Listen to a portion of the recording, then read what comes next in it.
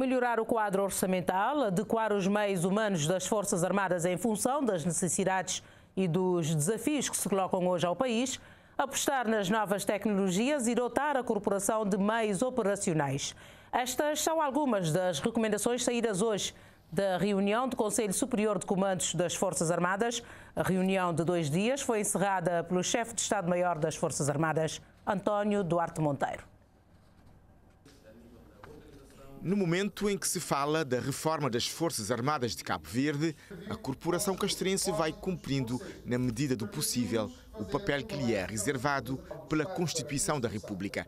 A reunião do Conselho Superior de Comandos, alargada também a diretores de serviços, iniciada ontem, lança o olhar sobre as atividades realizadas no último ano e perspectiva as ações para o ano de 2023. O chefe de Estado-Maior das Forças Armadas analisa de forma positiva o cumprimento das ações traçadas, mas sublinha os constrangimentos. O ano passado foram cumpridas várias atividades, o nível de cumprimento das eh, atividades é bastante satisfatório. É claro que nós não podemos cumprir tudo aquilo que estava planificado, mas por razões diversas. Eh, que tem a ver com a operacionalização de alguns meios que nós não temos neste momento operacionais, mas que estamos a fazer tudo para que fiquem operacionais e estejamos em condições então de cumprir de forma cabal as nossas uh, atribuições. A intenção é incrementar a operacionalidade das Forças Armadas de Cabo Verde através de análises dos constrangimentos e propostas de soluções. Mas para isso, torna-se necessário alargar o orçamento da instituição. O orçamento sempre é uma questão que tem estado na ordem da agenda das Forças Armadas. Repara que temos um orçamento que é maioritariamente despendido uh, com o pessoal e o investimento, o orçamento para investimento e uh, uh, operacionalização dos meios ronda a volta, a volta dos 10%, o que é insignificante para uh, as atividades que nós temos programadas em, em, termos de recuperação e manutenção dos meios colocados à nossa disposição.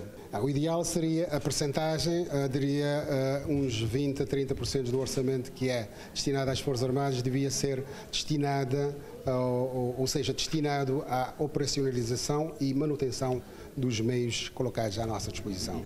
Entre as atividades está a manutenção do navio da Guarda Costeira Guardião, estacionado por avaria em São Vicente há mais de dois anos. E o desejo do chefe de Estado-Maior para este ano é ver este navio e outros meios navais de volta às operações. O navio Guardião efetivamente teve um problema grave quando da, da sua última docagem. Já identificamos o problema, estamos a trabalhar em parceria com uh, países amigos que, uh, em princípio, vai nos apoiar na resolução deste problema que uh, infelizmente é um problema bastante grave e que suscita um orçamento bastante elevado. Cabo Verde, enquanto dono da sua unidade, tem que trabalhar na alocação de dinheiro para fazer face a essa problemática e está a trabalhar fortemente e em parceria com outros países que podem nos ajudar a recuperar este meio que é fundamental para o patrulhamento da nossa zona económica exclusiva.